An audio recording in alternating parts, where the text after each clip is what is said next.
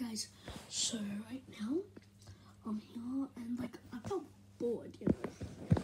So I'm gonna set up this camera without my elf knowing, and then I'm gonna like put him in front of the camera to see if he moves or not. Right? I'm gonna just go get him because I put him outside, like far away, so he doesn't hear us. I'm just go get him. Yeah, that's my closet behind me. It's very messy. Don't mind that. All right, one sec.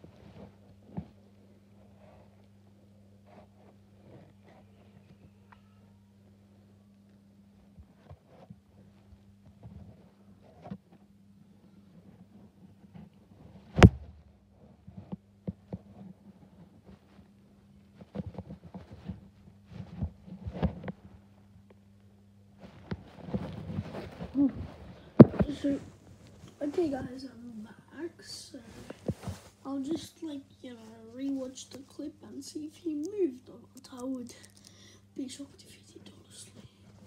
Because I thought all those videos on YouTube were fake, but this guy moved. Man.